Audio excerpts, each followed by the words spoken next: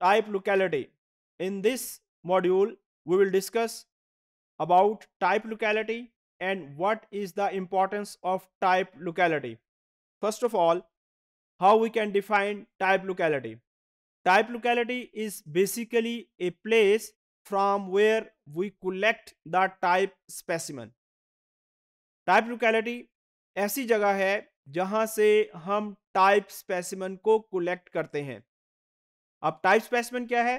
Type specimen एक representative specimen होता है, जिसको हम म्यूज़ियम के अंदर प्रिजर्व करते हैं।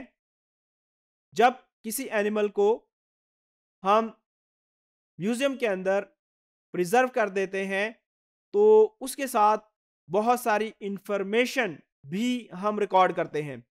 फॉर एग्ज़ाम्पल उस स्पेसिमन को किस जगह से कलेक्ट किया, जिस जगह से कलेक्ट किया उसको टाइप लोकेलिटी कहते हैं। इसी तरीके से उस स्पेसिमन को किस पर्सन ने कलेक्ट किया, यानी नेम ऑफ़ कलेक्टर उसके बाद डेट ऑफ़ कलेक्शन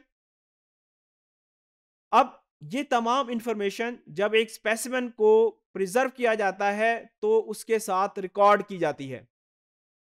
एक टाइप लोकेलिटी के अंदर जो पॉपुलेशन होती है उस पॉपुलेशन को हम टोपोटिपिकल पॉपुलेशन कहते हैं। और एक टाइप लोकेलिटी से हम जितने भी स्पेसिमेंस को कलेक्ट करते हैं, उन स्पेसिमेंस को हम टोपो टाइप कहते हैं। अब टाइप लोकेलिटी की इंपॉर्टेंस क्या है? टाइप लोकेलिटी जब हमने किसी भी स्पेसिमेन को कलेक्ट किया तो उसके साथ हमने बहुत सारी इंफॉर्मेशन भी कलेक्ट की।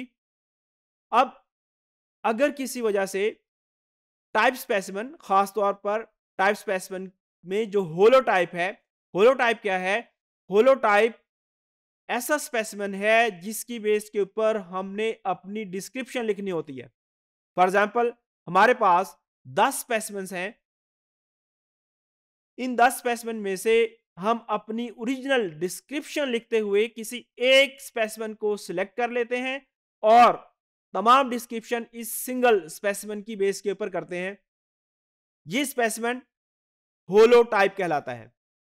अगर किसी वजह से होलो टाइप डैमेज हो जाता है या होलो टाइप मिसप्लेस हो जाता है या होलो टाइप चोरी हो जाता है तो ये ज़रूरी होता है कि उसकी जगह किसी नए स्पेसिमन को जो उसी स्पीशीज से बिलोंग करता हो, उसी लोकेलिटी से बिलोंग करता हो, उसको वहाँ पे रखा जाए। अब अगर हमारे पास टाइप लोकेलिटी मौजूद है तो इस टाइप लोकेलिटी की इंफॉर्मेशन की बेस के ऊपर हम उस इलाके के अंदर जा सकते हैं और उस इलाके से स्पेसिमन को कलेक्ट कर सकते हैं और उसको म्यूज़ियम के अंदर महफूज कर सकते हैं। लेकिन अगर जब हमने टाइप स्पेसिमन म्यूज़ियम के अंदर सबमिट किया तो हमारे पास अगर टाइप लोकेलिटी की इंफॉर्मेशन मौजूद नहीं है और इन केस हमारी होलो टाइप किसी वजह से डैमेज हो गई या मिसप्लेस हो गई तो अब हम टाइप लोकेलिटी से नया स्पेसिमन कलेक्ट नहीं कर सकते, क्योंकि टाइप लोकेलिटी तो मालूम ही नहीं।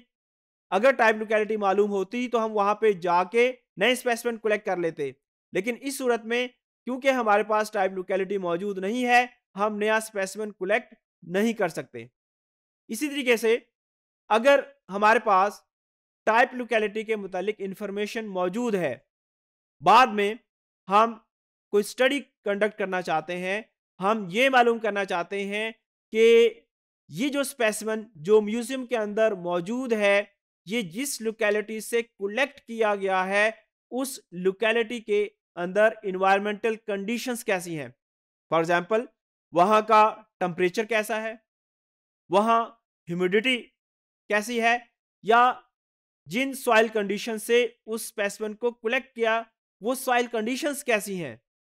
ये तमाम चीज़ें हम उसी सूरत में रिकॉर्ड कर सकते हैं जब हमारे पास टाइप लोकेलिटी की इंफॉर्मेशन मौजूद हो।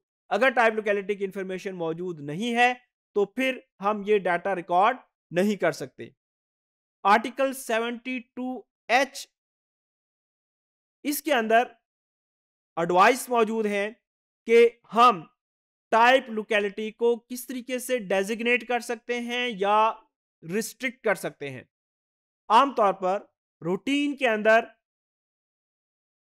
डेजिग्नेशन या रिस्ट्रिक्शंस नहीं की जाती। ये सिर्फ़ उसी सूरत में की जाती हैं, जब कोई स्पेशलिस्ट इन्वॉल्व हो और ख़ास तौर पर ये जो स्पेशलिस्ट है, ये किसी स्पीशीज के बारे में या किसी ग्रुप के बारे में रिविजनरी वर्क कर रहा हो, उसको रिवाइज कर रहा हो तो फिर ये पॉसिबल है। अदरवाइज़ आम रूटीन के अंदर इस किस्म की डेजिग्नेशन या रिस्ट्रिक्शंस नहीं होती।